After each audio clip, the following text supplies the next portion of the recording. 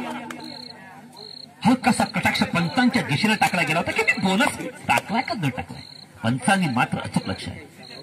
Bonus कोणत्या पद्धतीने होतो हे पंचांनी दर्शवलं. आणि अशाच वेळेला पुन्हा एकदा अजय संघाचा टिकला तो अजय मध्य क्षेत्रक्षकानं